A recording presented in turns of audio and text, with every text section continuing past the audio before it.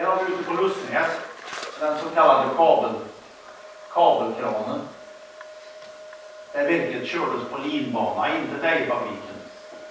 Mycket kom ju, på, kom ju vattenledes då plockas upp där. Men det kom även en hel del på järnväg.